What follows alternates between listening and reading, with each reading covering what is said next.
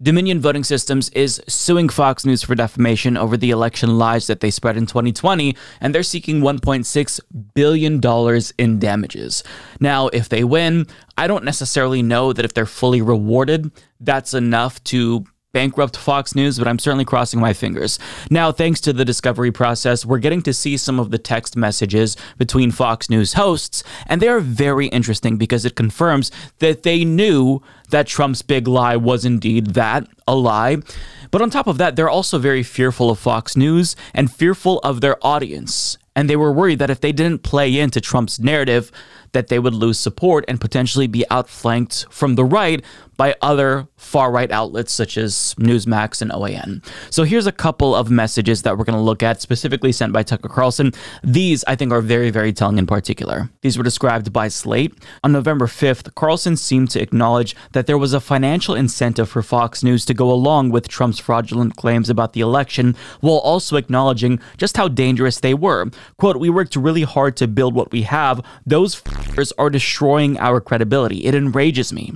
The primetime host continued to express to the producer his belief that his team had to kowtow to Trump. Quote, What Trump's good at is destroying things. He's the undisputed world champion of that. He could easily destroy us if we play it wrong. He also told a producer, Do the executives understand how much credibility and trust we've lost with our audience? We're playing with fire for real. An alternative like Newsmax could be devastating to us. On November 10th, Carlson said to his producer that it had been a mistake to not present Trump's voter fraud claims while also acknowledging, I just hate this shit.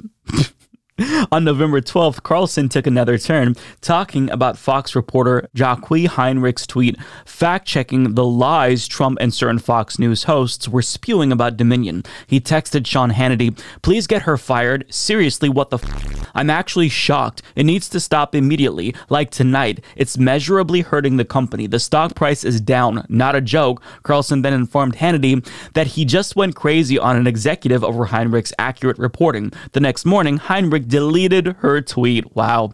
Around November 16th, Carlson was sharing with his producer his thoughts on the statements Powell was making, which Fox News had been airing. Quote, Sidney Powell is lying, he also described Powell as unguided missile and dangerous as hell, calling her a crazy person. On November 8th, Carlson told fellow host Laura Ingraham that Sidney Powell is lying, by the way. I caught her. It's insane. Of Powell's and Giuliani's claims about fraud, Carlson said, It's unbelievably offensive to me. Our viewers are good people and they believe it. On November 21st, Carlson sent a text message saying it was shockingly reckless to accuse Dominion of fraud without some proof, which he insisted there isn't. He also referred to Powell as a nutcase. And on January 6th of 2021, after the insurrection attempt, Carlson texted a producer that Trump was a demonic force, a destroyer, but he's not going to destroy us. So this is fascinating to me because it gives us all a bit of a behind the scenes look at the way that propaganda is manufactured. For years now, Tucker Carlson has very carefully crafted a propaganda program that is highly effective. But just like that, somebody who's more influential than him, Donald Trump, could undermine this credibility that he's built up with his audience. And these text messages, in some, they demonstrate a real dilemma between the need to tell the truth or the desire to tell the truth and not wanting to go along with a narrative, but then feeling pressure to do so because if you don't, then um, it's going to hurt your credibility. And they were right to fear their credibility taking a hit with their audience because a morning consult poll conducted between November 9th and 16th found that Fox News' approval rating among Republican viewers had nosedived. So their average approval dropped 13 points and their unfavorability almost hit 30%. Again, this is among Republicans. So you see this sharp decline in support, and that's because Fox News didn't explicitly go along with Trump's election lies. Now, they still platformed it, they aired the press conferences of Rudy Giuliani and Sidney Powell, but what what the audiences were looking for from Fox News' hosts was bias confirmation. They wanted to be affirmed in their belief that the election was stolen and Trump couldn't possibly lose. Now, Trump, uh, or Fox News rather, still did enough to where they're being sued for defamation. And I think you can argue that Dominion has a very solid case because what county is going to want to use Dominion voting systems now after they have been thoroughly slandered by Sidney Powell, Donald Trump, and these lies were amplified by Fox News. I mean, they have a very solid case. So to see Fox News hosts in the background scramble while just kind of playing the press conferences, playing the insanity, trying to really ride the fence there, it's so fascinating. Now, what did they do next? That's the question, right? Because they didn't do enough to play to Trump's base here and give into his lies. So, what did they do to regain credibility? Well, they did damage control. That's what they did. So, basically, rather than explicitly saying that Trump's big lies were correct, they pandered to this audience. So there's a segment from Tucker Carlson that aired, I believe, January 26th of 2021, and what he did there it really demonstrates how effective he is as a propagandist because he brings on Mike Lindell, right? Mike Lindell was just deplatformed from multiple outlets because he was spreading lies about Dominion and the 2020 election.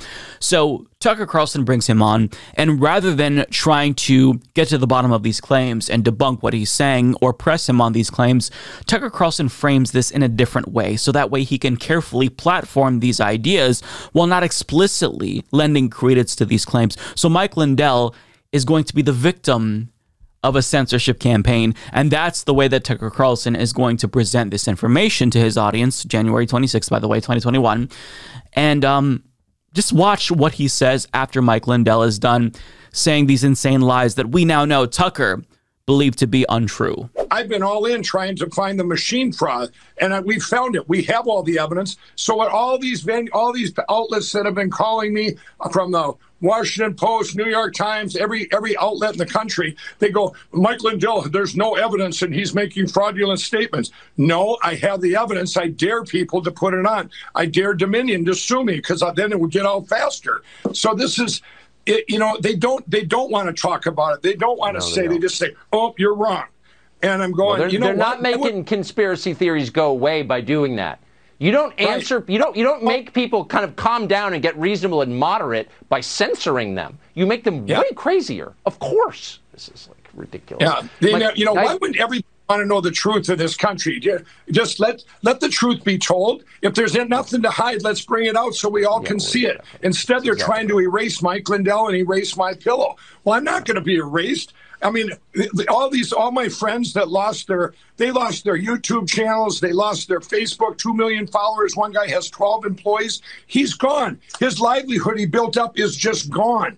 Um, anybody, any business churches that supported the president, that's a whole other issue. They're being attacked and they're going to be just, you know, canceled. No, I've, I've noticed. Mike Lindell, I really appreciate your coming on tonight. Thank you very well, much. Thank you, Tucker. Thanks for having me on, and God bless you. Thank you. Amen. God bless you. Mike Lindell, he sells pillows.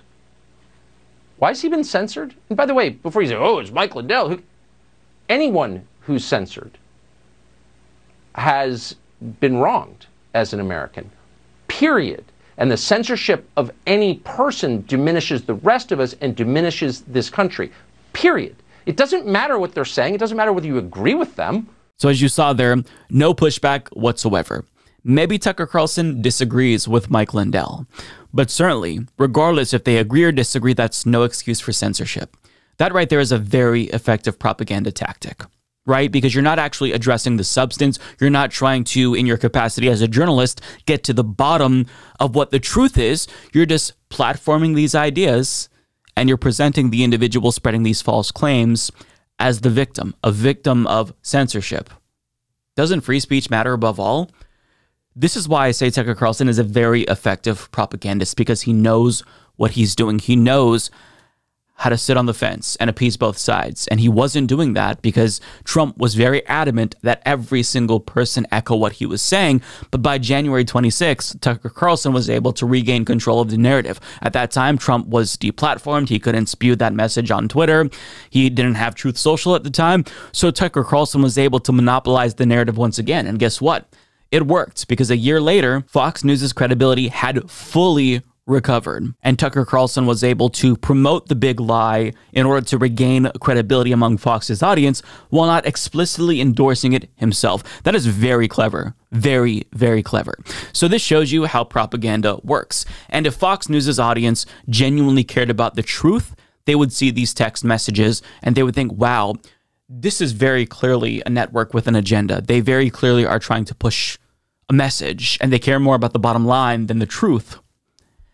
But that's not going to happen.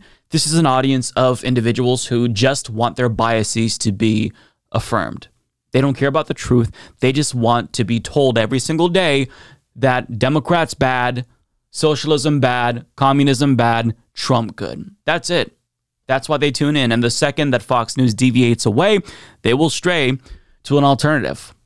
Now, lucky for Fox News, OAN and Newsmax are not actually good competitors to Fox News at this point in time because Fox News, I think, rode that line very, very well, getting that credibility back.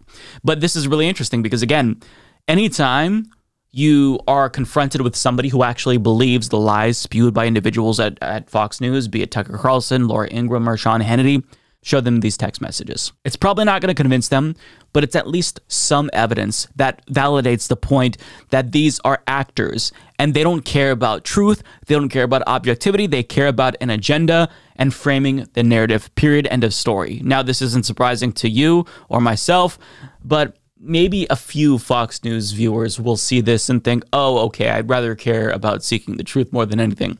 Doubtful, but I mean, we're talking small numbers, maybe one or two people out of the whole country. So, you know, we'll work with what we can, but either way, very, very fascinating. And Fox News hosts were frauds, but you already knew that, I'm sure. Mike is a total shit. Once he started shilling for the DNC, I stopped watching. So I definitely won't be hitting the subscribe button or turning on notifications by clicking the bell. No way. It's very sad, I know.